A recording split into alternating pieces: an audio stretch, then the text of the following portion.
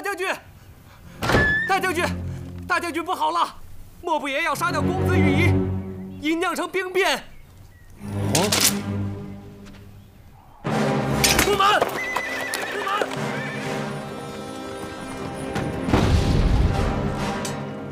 开门！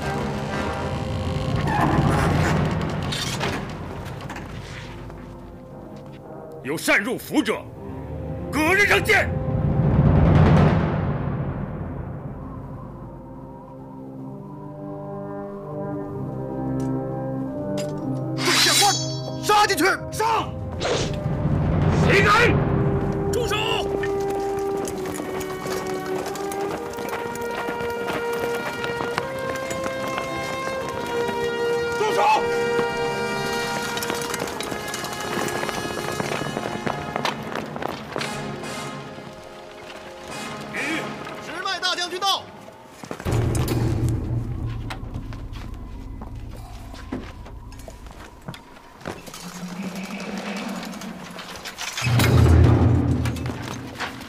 将军，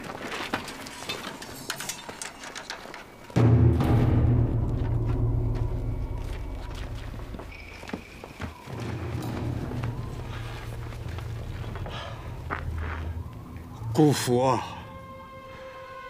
去替老父向太子请罪吧。大将军，不可呀！住口！姑父。念在莫比耶对我一片忠心，请太子饶他不死吧。大将军，你为何不肯做大王？闭嘴！大将军，你让追随你二十年的莫不爷失望了。你，公子快走吧。公子啊，再不走可真来不及了。有这么紧急吗？快上车吧。不信勾践他会把我怎么样？哎呀，他若真来了，就一切都晚了。公子啊，公子，你若有事，你让王孙洛如何回国交代？快上车吧！林国福扣刑死罪。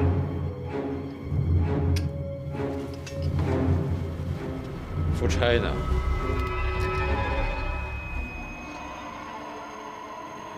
傅成，在。看看夫差。跑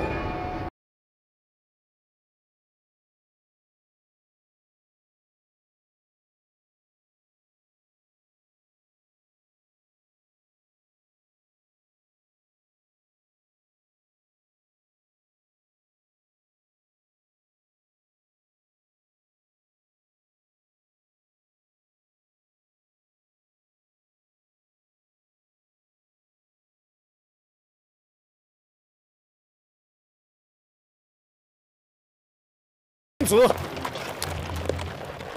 故相国命本将将你囚禁。夫差又犯了何罪？请原谅，公孙雄不知。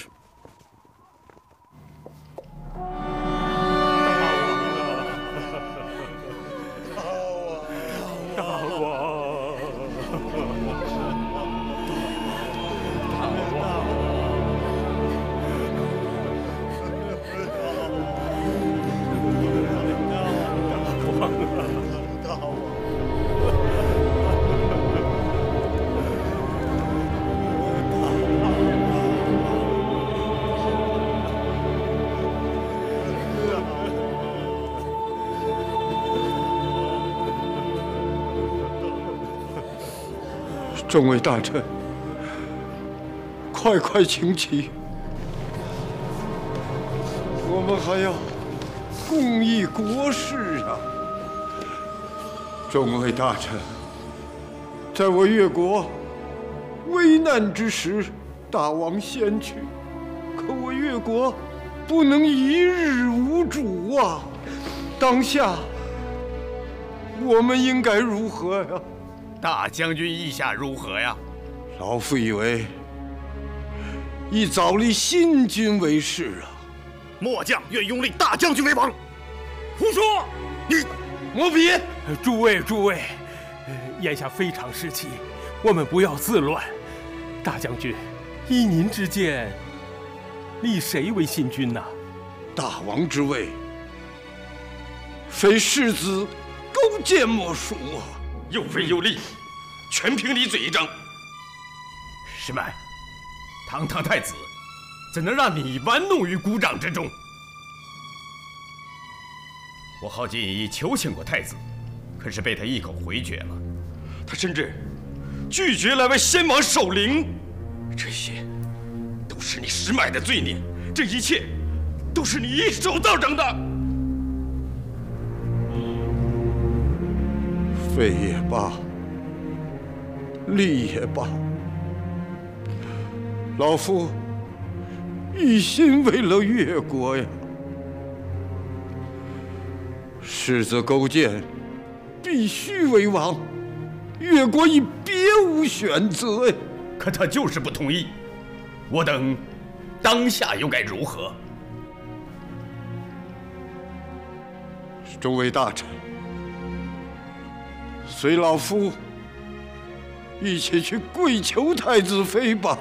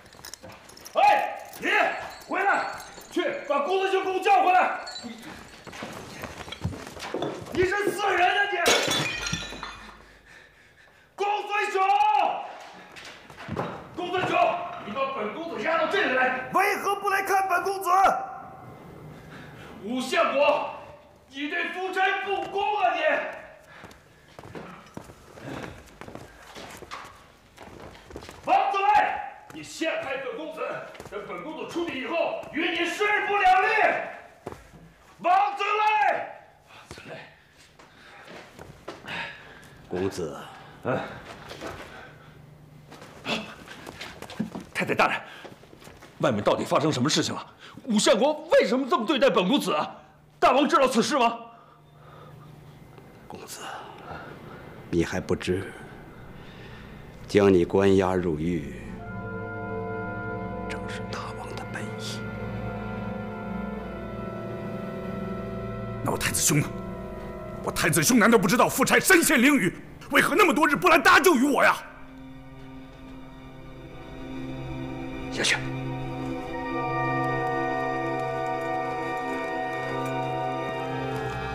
公子，公子啊，有一事不得不告诉你。啊，你太子兄他已经不在人世了。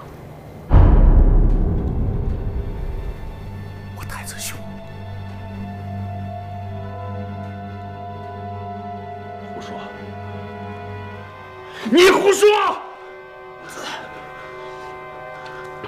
此事宫内仍是秘而不宣，薄皮也是刚刚得知，便悄悄跑来告诉公子。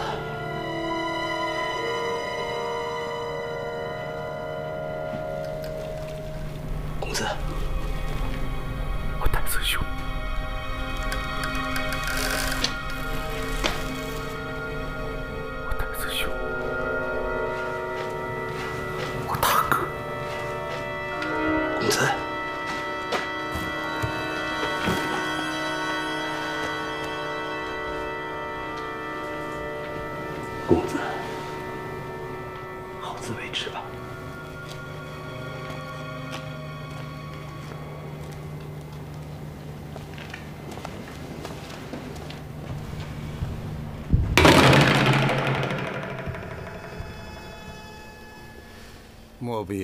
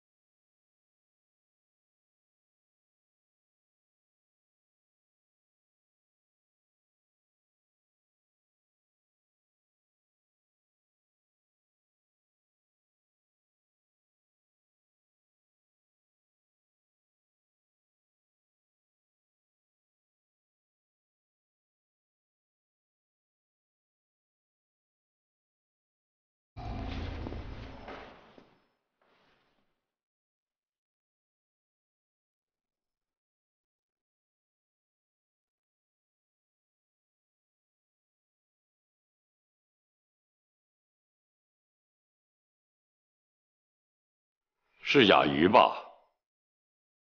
是大王。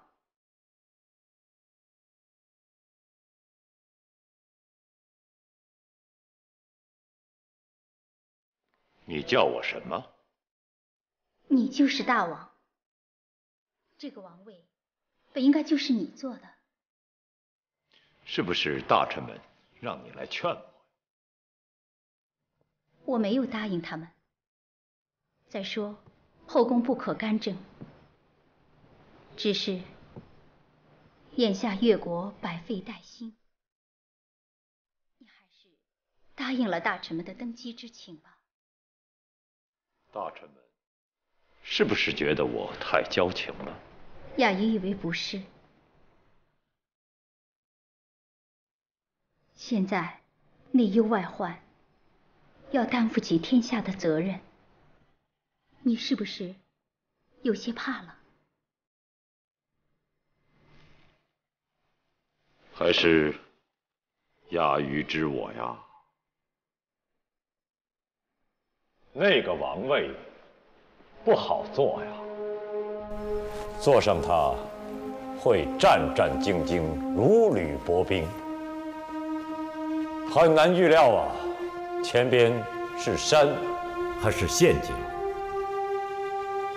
也不知道我是否能让越国兴旺起来。更不知道越国会不会败在我的手里。你能想到这么远，就证明你将是个好大王。你一定会让弱智又弱的越国变得强大起来。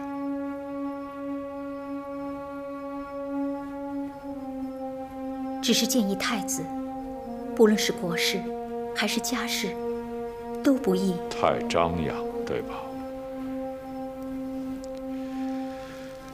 要悄然登基。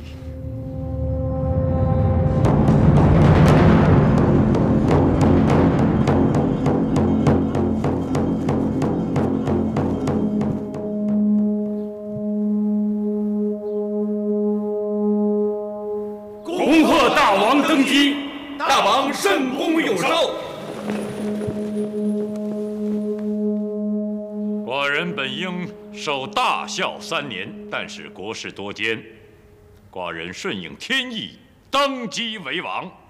希望我们越国国运永作，兴盛万世。众爱卿，平身吧。谢大王。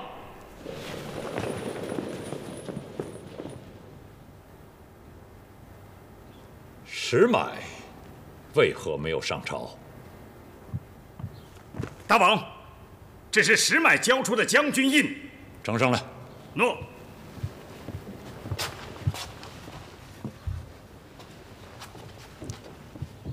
大将军印。将军们之所以死心塌地的跟着石买，祸根就在于他。从今以后，寡人亲自掌管大将军印。大王圣明。大王，臣以为石迈该杀。大王，林姑父叩请死罪。何罪之有啊？林公甫明知石迈作乱，却盲目顺从，助纣为虐，差点酿成亡国之祸。哎，知错而改，悔过记心，你的功不小。林公甫岂敢言功？错归错，功归功，寡人赏罚严明。谢大王。林国福，授你为大司马，诸暨营副之。严英。臣在。寡人授你为侍卫统领。谢大王厚恩。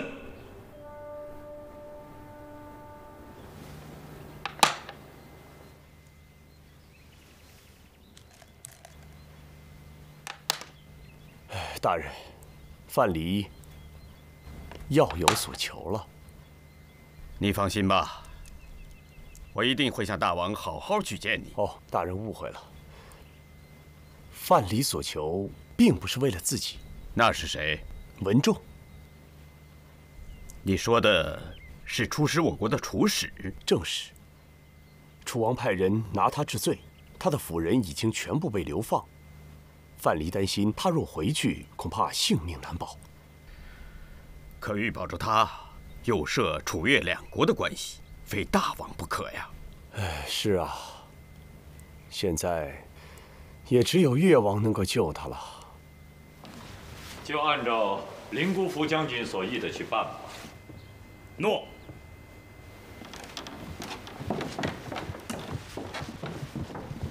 大王，臣还有一事禀报。说吧。楚王派来的公使抓走了楚使文仲。楚使文仲是楚国的罪人，楚王抓他，理所应当。大王，臣求大王救下楚使文仲。大王，不可。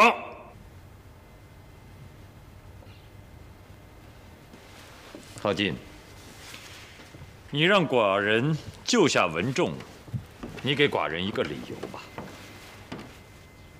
臣欠了一份大情。欠文仲的大情？哦不，臣是欠出使文仲好友范蠡的大情。范蠡？什么人？楚人范蠡。先王立公子为新王之时，就是范蠡。给臣指点的迷津。莫不耶发动兵变，企图谋害王后和羽衣公子性命之时，又是范蠡在生死关头给臣通报信息，叫臣及时前往营救。好了好了好了，郝进，寡人不会因为私情而忘掉国事的。大王，大王。文仲如今是楚国的罪臣，我们若救下文仲，势必会造成越楚对立。大将军，出使文仲是如何成为楚国的罪臣的？两万楚军全军覆没。他为何来到我越国？传递楚王与我越国联手抗吴的意愿。那我越国又是如何对待他的？大王，石迈和叶雍软禁了他。石买和叶雍代表不了寡人。郝进，臣在。接着讲。如果我们越国接受了楚使文仲对我国的援助，实施越楚两国联合抗吴的方针，便可一举击败压在我国边境上的五万吴国大军。那么他文仲是什么人？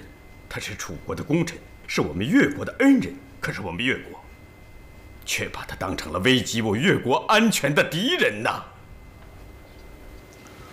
郝进，你的话寡人听得懂。大将军，寡人想问问你：郝进、范蠡还有文仲他们之间的友谊，还有楚越两国的关系，孰重孰轻？大王，臣以为楚国重。文仲卿，好，是不是我们应该跟楚国结为友好邻邦啊？我想问问，文仲是为什么来到我越国的？是不是为了解救我越国呀？如果寡人这时候置文仲生死于不顾，是不是叫诸国看来寡人是一个自私自利、胆小怕事、趋利避害的小人？如果是哪个君王愿与小人来往？如果是哪个国家愿与小人掌管的国家进行友好往来？权衡一下，寡人宁愿得罪楚国，也要留下文仲。浩进，臣在。不要以为。寡人是看你们私情，真正撼动寡人的是文仲，是越国的恩人。林国府，马上叫严英把文仲接下来。诺。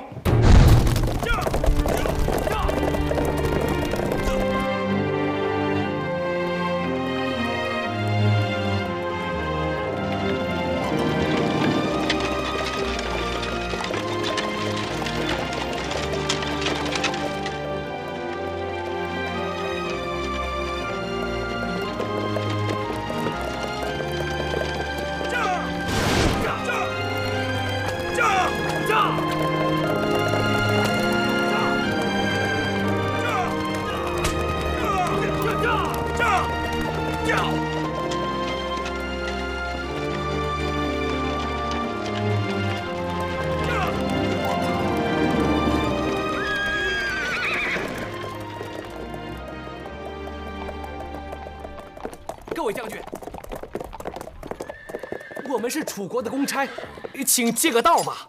废话少说，把人留下，你们走人。此人是我王钦点的罪犯。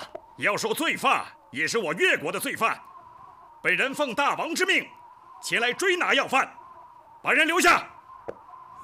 文仲何罪之有啊？带走。大人，我们回去该如何交差呢？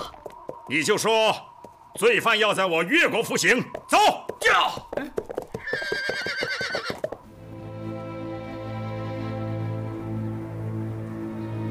大王，见了大王为何不跪？跪下！严英，对楚使不得无礼，你下去。诺。你就是楚使文仲。这会儿已经不是楚使了，平民文仲。听说楚王要降罪于你，你服吗？愿服。愿服。为何？君叫臣死，臣不得不死。更何况文仲的确有罪。可是楚王流放了你的家人，你就不怨恨？文仲身为人臣，而且有罪在身，且不能服罪，已属大逆不道，岂敢有恨？文仲，如果寡人留你在越国为臣，成全你，你该如何？谢越王救命之恩。但是如果你留在越国，你就会须得一心向越，不可有二臣之心。文仲，你记着，虽说你能言善辩，但是以后寡人说话，请不要打断。诺。文仲，寡人想问你：如果你留在越国为臣，你就不怕担上贪生怕死、不忠不孝的罪名吗？文仲回楚，必将以命服罪。这样一来，虽然进了为臣之中，却断了继续为国效力之道。既然楚越两国有兄弟之盟，文仲留越为臣，即是为楚国效力。文仲。如果你成为我越臣，你要记得，一切利益可要以越国为上了。当然，文仲将竭尽全力助越王与吴国抗争。这样一来，楚越两国的兄弟之盟将更会牢不可破。如果今后你再有二心，寡人该怎么处置你？苍天在上，可见文仲之心。如若赴越，皇天不佑。寡人没听清。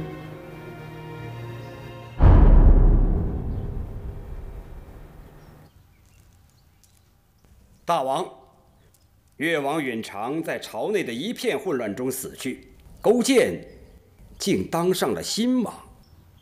大王，趁勾践立足未稳，应该一举除掉他。相国所言极是。勾践小儿野心勃勃，绝非等闲之辈。他继承王位。越国将成为祸患，我吴国称霸，必须先除掉他。呃，不妥吧，大王？越国处于大丧期，此时出兵伐他，一来不易，二来也没有理由啊。强者称霸，弱者为奴，这个理由还不够充分吗？可，是，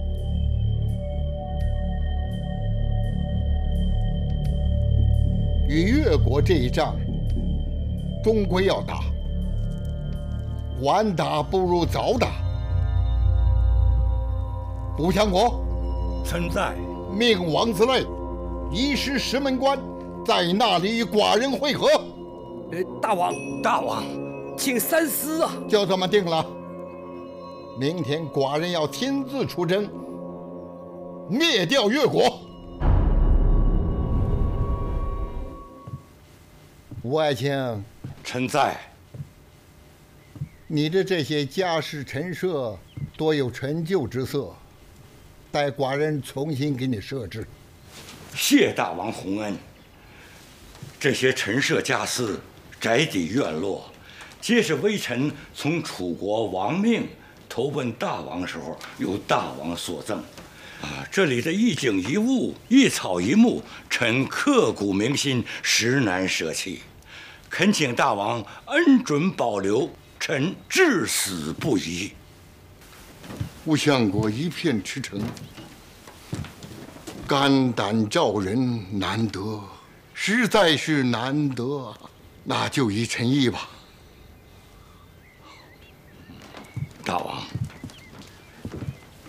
这越国确实该伐，臣以为由王子累率师已经足足有余，大王不必亲征。寡人征战一生，现虽年事已高，可在沙场之上尚可老当益壮。王子赖英勇善战，才智过人。是一位难得的帅才呀！寡人这次亲征，无非是观战而已。嗯，臣明白。寡人这一生，与天下招贤纳士、知人善用，可对自己这群子孙，却是琢磨不定。故立太子之事，还想听听相国的见识。国之大事，臣必定尽心竭力，恳请大王容臣思之。那待寡人正月回来以后再说吧。啊，大王，此次正月，恭请保重。小小越国何足挂齿？正月若寡人囊中取物，大王所言极是，但战场瞬息多变。还望大王慎重处置。吴相国尽管放心。大王，还有一事，请大王下旨。说。啊，怎样处置夫差？我不是说过了吗？就要把他监禁在大狱之中，磨磨他的逞强好胜之心，免得惹是生非。臣谨遵旨。呃，这个，吴爱卿还有什么话要说吗？大王，太子驾崩，不日将举行丧葬大礼。臣以为夫差与太子感情笃厚，您看能否？不可！寡人就是要把他关在大狱之中。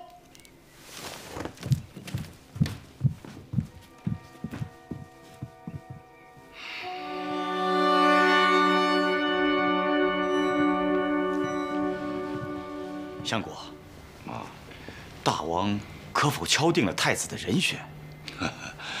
大王虽未直言，可也和直言差不多喽。那这么说，太子将立王子累无疑了。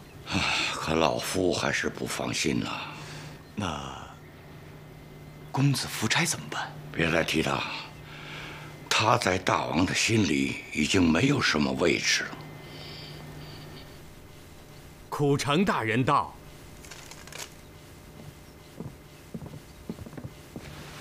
大人，大王有旨，宣浩进大人带范蠡入宫觐见。臣遵旨，浩进这就去找范蠡。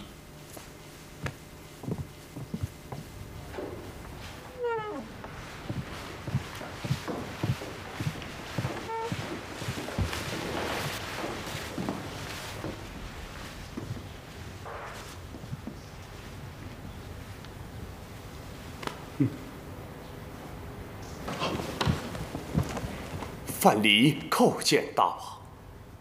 你就是楚人范蠡？正是。寡人听说你会卜卦是吗？略知一二。你给浩进卜过卦？是。那你也给寡人卜上一卦。禀大王，若知前后之事，皆因观察而得。初次见面，别人不会相信，因此才有了卦象之说。借天而语，无非是利用了人们对天地的敬畏之心罢了。此话不谬。你知道吗？寡人想把你驱逐出越国。知道。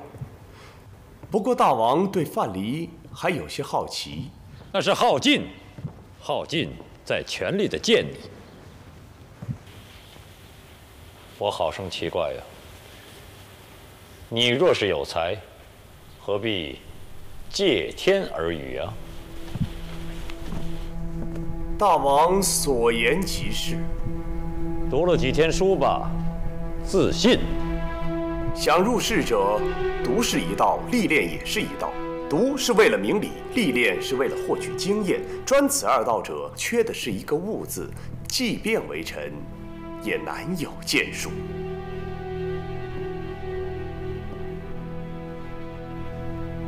你颇懂治国之道。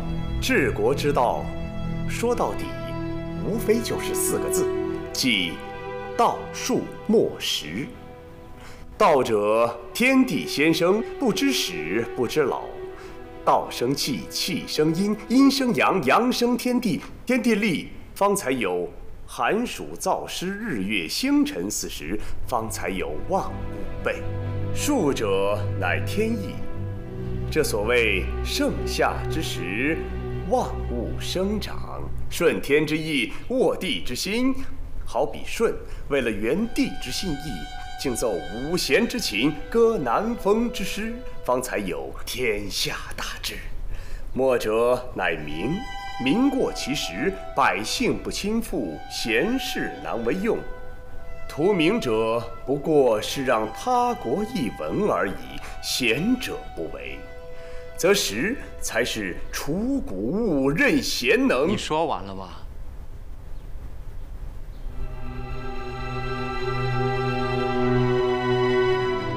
既然大王有事，那范蠡改日再来。恐怕已经没有改日了。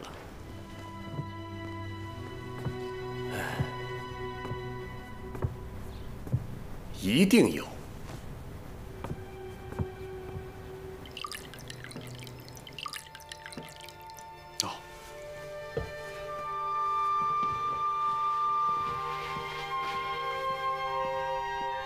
范蠡呀，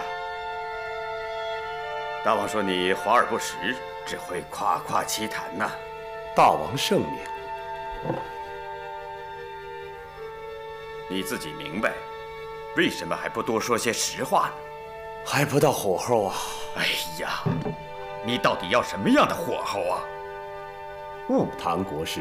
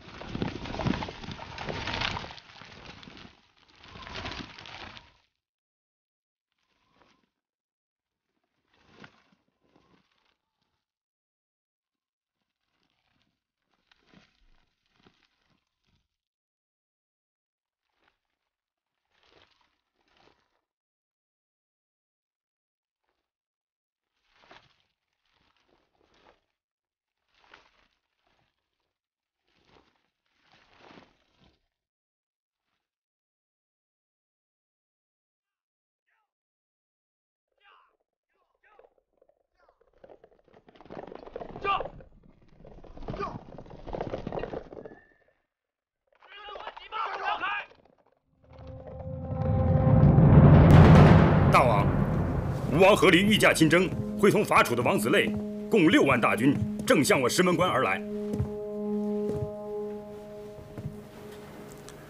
大约需要几日啊？早则三日，最迟五日。诺。古城，微臣在，大王。准备升朝。诺。钟爱卿，要打仗了。林姑父，臣在。你向大臣们禀明吧。诺。自我王粉碎吴人欲臣服我们的企图后，吴王阖闾恼羞成怒，不顾及臣子们的劝阻，亲率兵力一万，又命吴楚边境的五万大军正由西向南而来。两队吴军预计三日后将会于石门关外。末将已严命石门关守将仇无虞立即封关，严防死守，等待朝廷大军的驰援。大王。吴军既来势汹汹，看来此战再不可避免。既如此，臣请杀石买叶雍等犯人，好以顺民心、振士气。杀了石买叶雍，就有利于此意？何止有利，大王，皆因石埋等拒战，才导致了废立之乱。我越国险些就葬送在这帮犯臣犯将的手里。杀了石埋，显示的是我王庭与吴国血战到底的决心。更警示了那些至今仍有恐吴之心的人。